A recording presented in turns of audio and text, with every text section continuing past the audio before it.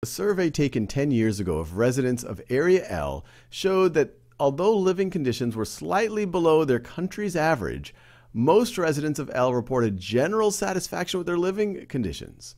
However, this year, the same survey found that while living conditions are now about the same as the national average, most residents of L report general dissatisfaction with their living conditions. Which one of the following, if true, would most help to resolve the apparent conflict between the results of the surveys described above? And so the conflict, this is 10 years ago, 10 years, years ago, and this is this year, this year.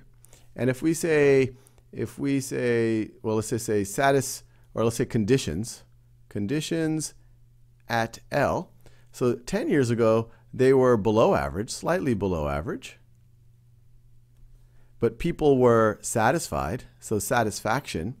So satisfaction. Satisfaction. I'll write okay, right over here. But then this year, it's they've gotten. It seems like they've gotten at least superficially, maybe they've gotten better, at least more comparable to the peers, to the surrounding area. So they've gone from below average to average. But now, this year, they're not as satisfied not as satisfied, or let me say general dis- dissatisfaction. So not okay. So it, although it looks superficially like, hey, maybe things at least relatively have gotten better, but they've gone from being satisfied or roughly satisfied to not satisfied. What explains this conflict? See, choice A residents of Area L typically value aspects of living conditions different from the aspects of living conditions that are valued by residents of adjacent areas.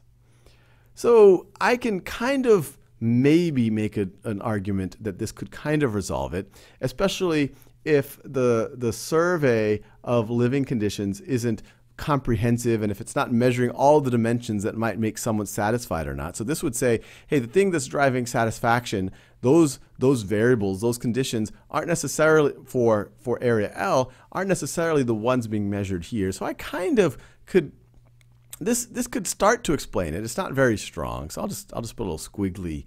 I'm hoping for something stronger, so I'm going to squiggly outline that one. Let's look for choice. Look at look at choice. Let's look at all the choices actually.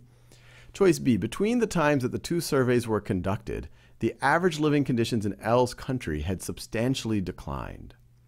So this one actually makes a lot of sense. So let's say that this is average conditions in the country so L conditions, and then let's say L satisfaction, satisfaction. So this is before, before, and then this is now. And let me put some numbers here. So let's say let's say we assume this uh, statement B is true. Between the two times that the two surveys were conducted, the average living conditions in L's country had substantially declined. So let's say the average conditions went from 9 to 5 on a scale of 10. And let's say before L's conditions were slightly below average. So let's say they were 8, and now they became average. So even though relatively it seems better, they've gone from below average to average, on absolute terms, things have gotten worse. So it makes sense that maybe their satisfaction here might have been a 9, but now their satisfaction here might be a 5. So it makes sense, complete sense, why their satisfaction might go down, even though their relative conditions might have improved slightly because their absolute conditions got worse. So I like this explanation, very clear one. Let's look at the other choices. Optimal living conditions were established in the survey by taking into account governmental policies and public demands on three continents. Well, that doesn't really resolve the conflict. It might give me a little bit more confidence in how the living optimal living conditions were considered. So let's just, or not, well, but it doesn't seem to really resolve the conflict.